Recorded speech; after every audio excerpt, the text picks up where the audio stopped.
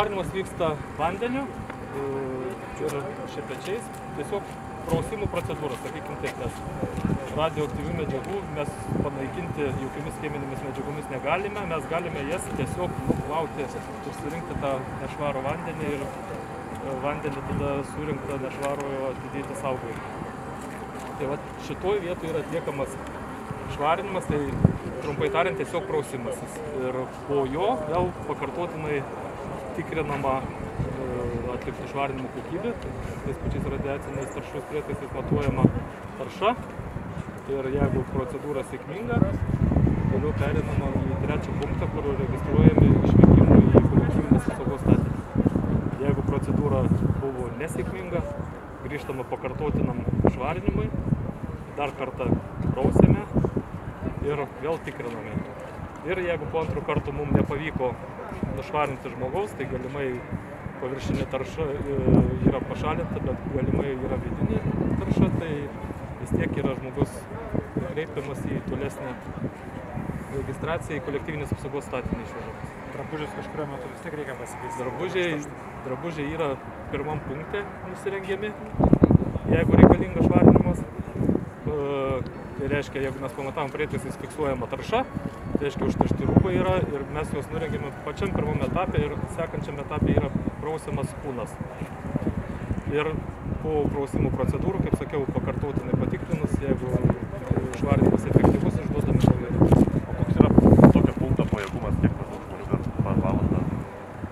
Yra trys koridoriai, vienas koridorius moteriams, vienas vyrams ir vienas nukentėjusiems savarankiškai negalintiems vaikščioti, tai apie 50 žmonių per valandą pralaidina šitą punktą. Kiek tokių punktų turėtų būti, tarkim, visame mieste? Sunku pasakyti dabar. Negaliu, negaliu pa- pa- pasakyti tikslaus skaičiaus, kiek turėtų būti, priklausomai nuo avarijos masto turbūt ir, ir užterštų, užterštų vietos, nu, jeigu radiacinis debesis. Įva- Įvairius prognozijas yra ir priklausomai nuo reikiamų skaičiaus atitinkamai turėtų būti ir palapinių kiekis.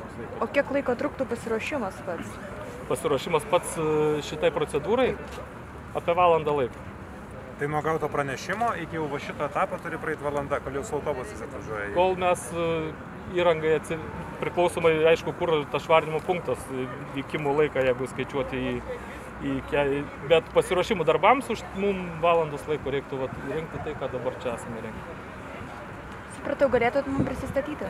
Vilniaus priešgaisrinės gelbėjimo valdybos trečiosios komandos vyriausias specialistas Mindaugas Takauskas.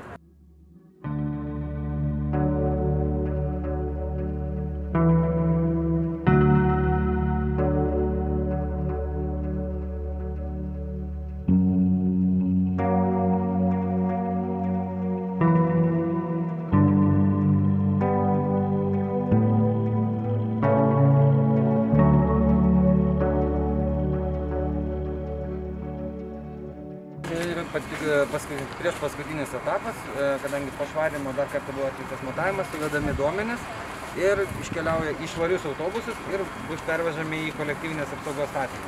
Į Raudoną. Į visiškai, tarkim, Vilniaus atveju galbūt į Ukmergę galėtų važiuoti, bet šiandien bus išbandyta su kolektyvinės apsaugos statiniais trim Vilniuje ir bus vežami tenai. Jau imituojant, kad čia yra švari zona.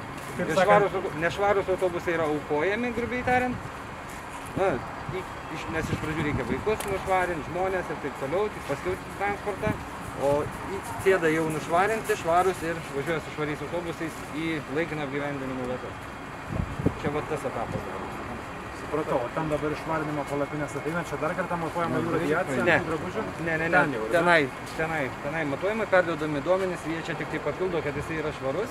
Ir galutiniam e, ketvirtam etapė tam kolektyvinės apsaugos statiny e, žmonės, kurie dirbs su registracija, jie pasispaudžia programėlę ir mato, kad tas žmogus, kas su juo buvo padaryta. Tai yra, ar jis buvo pilnai nušvarintas, kokie ten duomenys ir panašiai, nes gali būti ir tokiu atveju, kad žmonės važiuos, e, kurie nėra pilnai nušvarinti.